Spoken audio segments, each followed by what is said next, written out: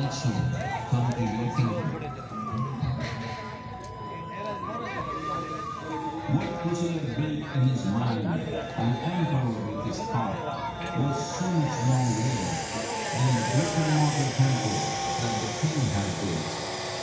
Shiva wanted to build Kusala's temple where Kusala had invested his heart and his mind in its utmost fullness is a beautiful temple that Shiva would choose to have as his abode.